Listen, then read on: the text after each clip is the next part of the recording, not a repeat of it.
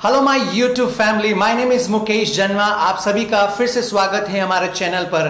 हमने एक series start की थी टॉक विद एक्सपर्ट्स और उसमें अलग अलग क्षेत्र के लोगों के साथ हम बातचीत करते हैं, जिसका गाइडेंस हमारे स्टूडेंट्स को और हमारे इस यूट्यूब फैमिली के मेंबर्स को मिलता है। हमने एक गेस्ट को पहले भी बुलाया था जो उदयपुर में एक एक्सपर्ट के नाम पे जाने जाते हैं मैथ्स एंड रीजनिंग के विजन कोचिंग सेंटर के डायरेक्टर श्री अरविंद जी कौशिक। आप कई सालों से कंपटीशन एग्ज़ाम्स के अंदर आप, आप सेवाएँ दे रहे हैं। तो मैंने सोचा कि पहले एसएससी के ऊपर बनाया था इस बार आईबीपीएस क्योंकि आईबीपीएस डिमांड पर हैं बैंकिंग से रिलेटेड जो भी एग्ज़ाम्स होते हैं प्लस हालाँकि ये जो सेशन है आपको हर एक कंपटीशन एग्ज़ाम में मदद करेगा। स्पेसिफिकली हम लोगों ने चूज़ किया है आईबीपीएस आपका अपना खुद का चैनल है उस पर भी कई सारे सब्सक्राइबर है आपका अपना ऐप है टेस्ट सीरीज़ वगैरह करवाते हैं उसके लिंक्स में आ, नीचे डिस्क्रिप्शन बॉक्स में दूँगा। अभी हम शुरू करते हैं। सर अरविंद सर सबसे पहले तो मैं आपका हमारे इस कार्यक्रम में स्वागत करता हूँ। नमस्कार सर और मैंने शीर्षक रखा कुछ मेरे स्टूडेंट्स ने पूछा भी था। आईबीपीएस के बारे में आप बताएँ। आईबीपीएस की फुल फॉर्म से स्टार्ट करते हुए थोड़ा सा आप समझाएँ एक्चुअल में, और इसके लिए क्वालिफिकेशन रिक्वायरमेंट क्या होती वो भी समझाएँ।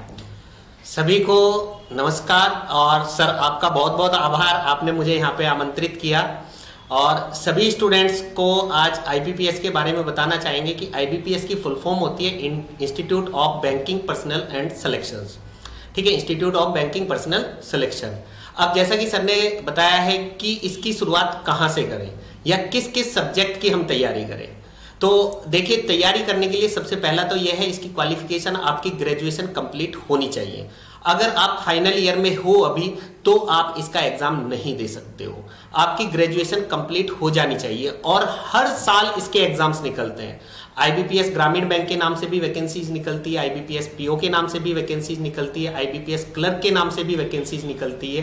अब ग्रामीण बैंक जो आपके राजस्थान क्षेत्रीय ग्रामीण बैंक जैसे है, मेवाड़ आंचलिक ग्रामीण बैंक है, ऐसी और राज्य यूपी में उत्तर प्रदेश ग्रामीण बैंक होता है, सभी राज्यों में अपने अपने ग्रामीण बैंक होते हैं तो उनकी वैकेंसी निकलती है। उसके बाद आईबीपीएस पीओ तो जो आपके नेशनलाइड बैंक है, उनके अंदर आपकी पीओ की वैकेंसीज निकलती है। जैसे आपका पंजाब नेशनल बैंक है बैंक ऑफ़ बड़ौदा है, इन बैंकों के अंदर आपकी पीओ की वैकेंसीज निकलती हैं और इन्हीं के अंदर आपकी क्लर्क की वैकेंसीज भी निकलती है। जैसा कि अभी देखा जाए तो अभी आईबीपीएस क्लर्क की वैकेंसी निकली हुई है और आईबीपीएस एसओ की वैकेंसी भी अभी आने वाली है। एसओ का बोले तो स्पेशलिस्ट ऑफिसर पीओ की फुल फॉर्म होती है probationary officer thank you sir अच्छा एक क्वेश्चन और मैं स्टूडेंट के बिहाफ पे पूछ रहा हूँ कि सर खास करके जो नए उनके बारे में पहले क्वेश्चन लेते हैं जो अभी भविष्य देख रहे हैं अपना बैंकिंग फ़ील्ड में। उसके बाद में जो लोग तैयारी कर रहे हैं या साल दो साल से इस फ़ील्ड में प्रयास कर रहे हैं लेकिन अभी तक उनको सफलता नहीं मिली उसके बारे में बाद में आएँगे।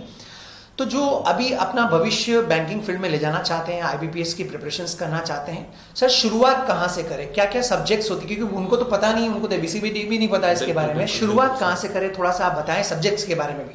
देखिए अगर बात की जाए बैंकिंग का कोई भी एग्ज़ाम हो चाहे वो ग्रामीण बैंक हो चाहे आपका नेशनलाइज बैंक हो चाहे आपका SBI हो और जो पैटर्न इन एग्ज़ाम्स का होता है वही कहीं ना कहीं हमारी इंश्योरेंस कंपनी जो है L N I C U I I C L I C बोले तो आपने सुना होगा life insurance company U I I C United India Insurance Company N I C National Insurance Company इनका पेपर पैटर्न भी same होता है bank के लेवल पे ही होता है। बैंक का जो पेपर पैटर्न बैंक का जो सिलेबस होगा, वही सेम इनका भी होता है।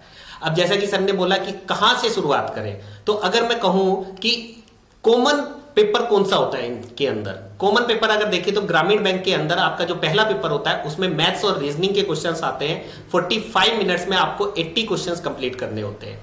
ऐसे ही आईबीपीएस पीओ के में पीओ के पेपर में भी आपके तीन सब्जेक्ट आते हैं पहले पेपर में मैथ्स रीजनिंग और इंग्लिश आईबीपीएस क्लर्क में भी आपके तीन सब्जेक्ट आते हैं मैथ्स रीजनिंग और इंग्लिश अगर बात की जाए कि शुरुआत कहाँ से करें तो आप शुरुआत मैथ्स और रीजनिंग को लेकर के कर सकते हैं. आप मैथ्स और रीजनिंग आप परफेक्ट कर लीजिए, दो महीने, चार महीने में आप मैथ्स रीजनिंग परफेक्ट कर लीजिए.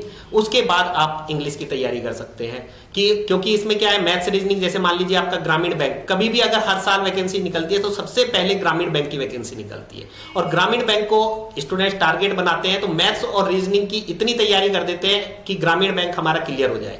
क्योंकि ग्रामीण बैंक के बहाने आपका क्या है कि मैथ्स और रीजनिंग कंप्लीट हो चुकी होती है। उसके बाद आईबीपीएस पीओ और आईबीपीएस क्लर्क की वैकेंसी निकलती है। तो मैथ्स रीजनिंग की तैयारी तो आपकी ग्रामीण बैंक तक हो चुकी है। बाद में आपको केवल एंड केवल इंग्लिश की तैयारी करनी पड़ती है। थैंक यू सर आप मैथ्स और रीजनिंग एक्सपर्ट हैं और यदि आप लेक्चर्स देखना चाह रहे हैं तो मैं डिस्क्रिप्शन बॉक्स में आपके यूट्यूब के लिंक दे रहा हूँ। आपने कई सारे बिल्कुल सहज तरीके से आपने वीडियो बना रखा है। Well uh, well, maths and reasoning का गाइडेंस दे रहे हैं लेकिन इंग्लिश में अपने साथ ऐड करना चाह रहा हूँ कि आजकल मैंने ग्रामर की सीरीज़ स्टार्ट करी है।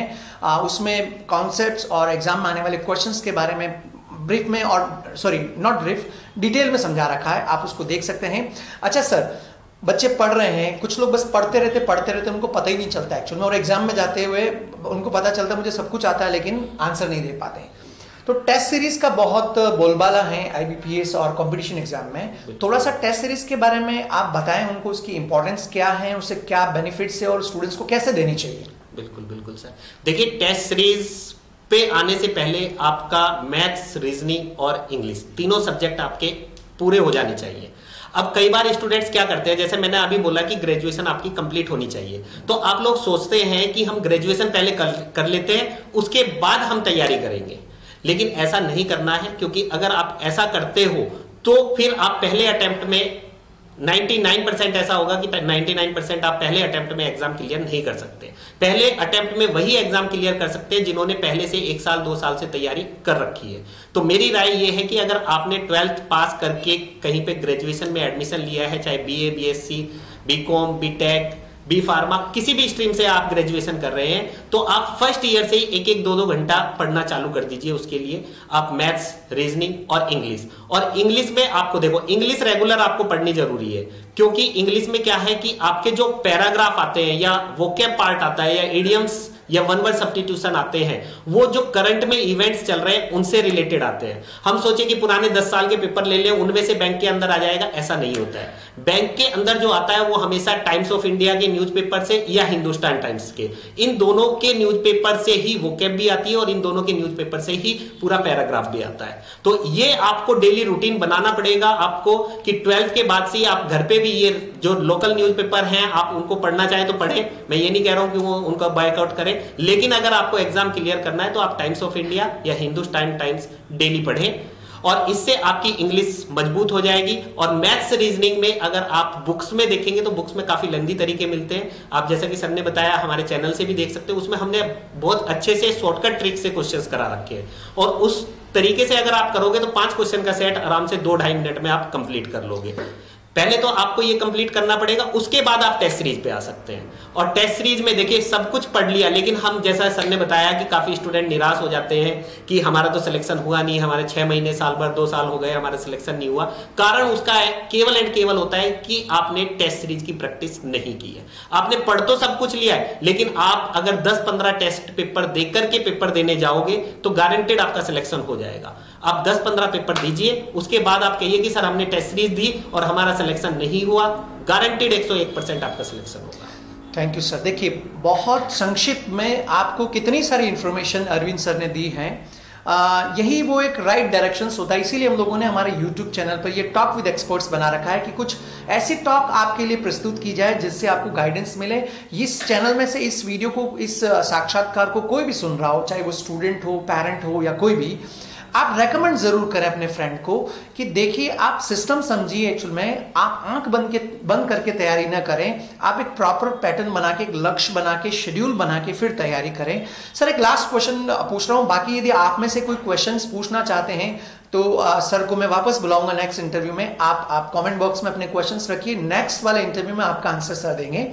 मेरा क्वेश्चन है सर ज्वाइनिंग से लेकर और आपकी तरफ़ से और कोई टिप्स अपने स्टूडेंट्स को कंक्लूजन में देना चाहें? ज्वाइनिंग के बारे में भी थोड़ा आप चार लाइन में बताएँ। देखिए, ये ज्वाइनिंग की बात बहुत इंपॉर्टेंट है, क्योंकि आप बैंक के अलावा और कोई भी स्टेट गवर्नमेंट के एग्ज़ाम हो या सेंट्रल गवर्नमेंट के एग्ज़ाम हो, उनमें कहीं ना कहीं एक साल, डेढ़ साल, दो साल का प्रोसेस लगता ही लगता है।